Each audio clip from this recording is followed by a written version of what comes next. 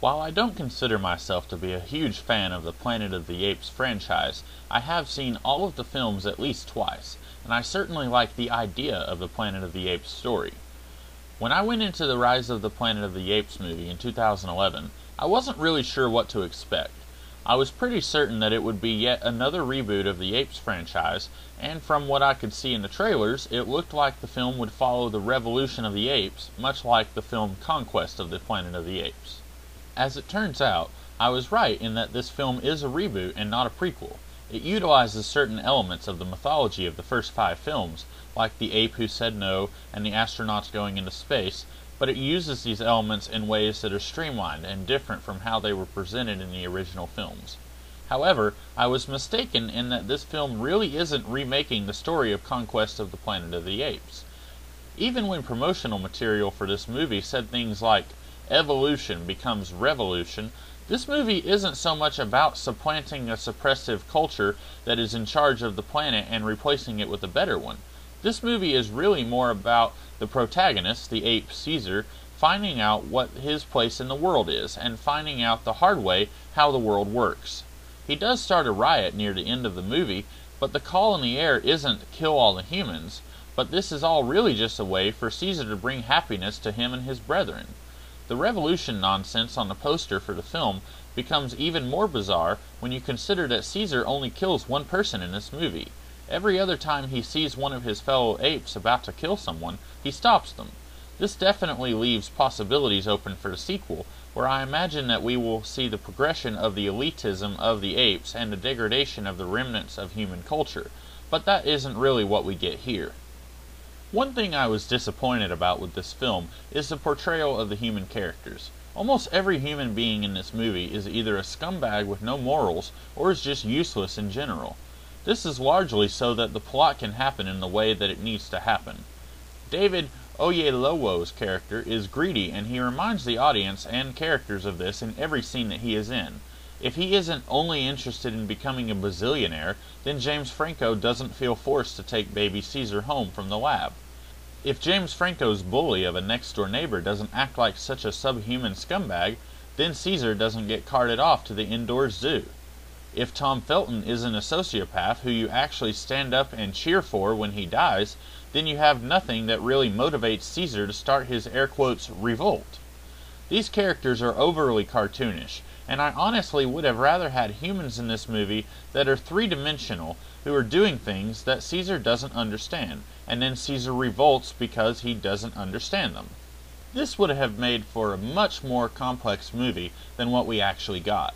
And even the characters who aren't totally evil are just not that interesting anyway. James Franco's lady friend is one of the most boring things in this movie. I don't really think she served any purpose at all. Anything she does do could have been given to another character to do. James Franco, there are many times in this movie when I really feel like he is killing it with his acting, like when his father dies or when Caesar refuses to come home with him from the indoor zoo. But outside of those two all too brief scenes, I just don't feel like he has much to do other than be pretty unconvincing at delivering technobabble. The one character who I feel like I can call an all around good human being is John Lithgow's character, but like Franco, the story doesn't give him anything to do. He is a vehicle for Caesar to be taken to the indoor zoo, and after that the plot sweeps him under the rug with the return of his Alzheimer's disease. The story itself, I feel like, is paced just a little too slow at the beginning of the movie. Everything before Caesar is taken away from James Franco is more or less necessary, but I definitely feel like we could have gotten there a lot quicker. And then I don't feel like enough time is spent on the events after Caesar has decided that he's had enough. After the big battle of the bridge, James Franco goes to his special forest that he spent time with Caesar in to go talk to Caesar and see if he can bring him home. He admits that air quotes all of this is his fault, and that includes everyone who has died at the hands of this ape riot, which I have to assume is probably in the dozens, and Franco doesn't know it yet, but him pushing for the continued research into the cure for Alzheimer's is also the root cause of what will eventually be the extinction of humanity, as we see in the mid-credits scene. So as far as blunders go, this is a pretty huge one. But regardless of what Franco says, it doesn't really seem like he has grasped the concept of there being consequences to him being an idiot. Just because he feels remorse doesn't make all of this go away. And unlike the progressive hostilities between the apes and the humans, which I believe will be explored further in the sequel, I don't see this lack of character growth going anywhere in the sequel, as I don't really think James Franco will even be in the sequel, nor am I certain that the sequel will be set shortly after this film. For all we know, the next film will be set a generation later, or several generations later. And the problems don't stop there. Even though Caesar tries to keep the fatalities to a minimum, he still kills a man, and he orders the death of another. And again, Franco's character accepts the blame for all of this. But where's the confrontation?